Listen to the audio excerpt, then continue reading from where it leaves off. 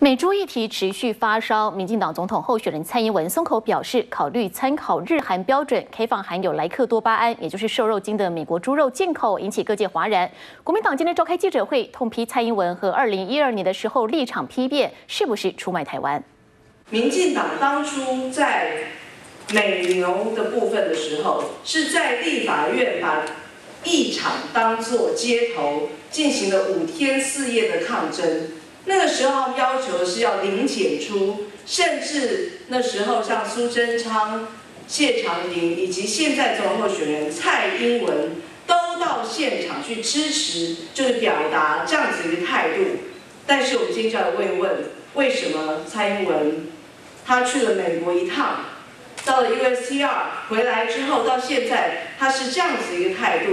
请问？他为了要换取美国人对他的好感，他到底出卖了台湾什么？